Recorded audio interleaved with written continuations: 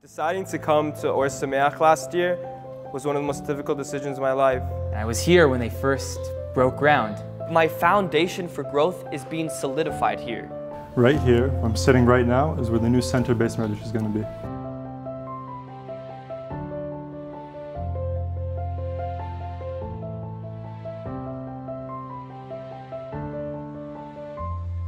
The new complex will house three of the many programs of Ohr Somayach, Beis program, Center program, and the Derech program.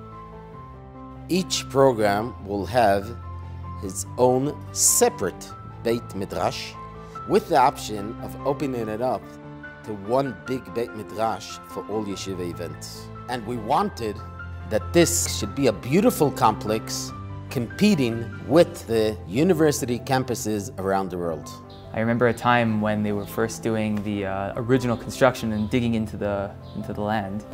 And the Rosh Yeshiva was giving a schmooze um, up at the front. And I remember sort of as he was speaking, the construction was going on in the back. And there was this, I felt this feeling in the beis medrash of there's a little bit of a disruption, but at the end of the day, what it's really for is for a, a beautiful purpose.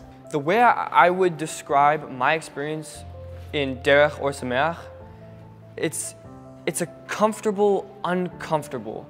You're put in a position where you're able to succeed and grow as much as possible and gain clarity in your life. Sometimes you have to build a building in order to build people.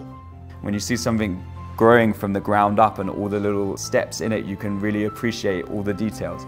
And in a way, that I guess this is the story of Ohr Somayach as well, because you've been building not just a, a, physical building, but also you've been building people's lives up from the ground up.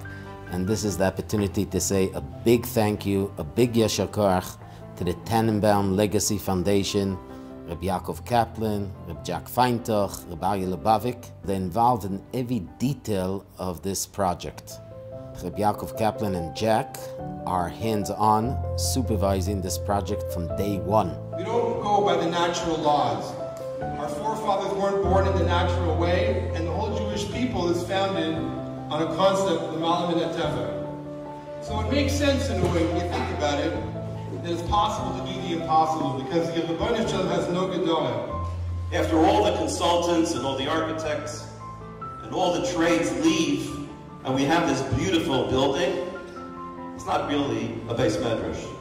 It only becomes a beis medrash when we hear the voices of your limud haTorah.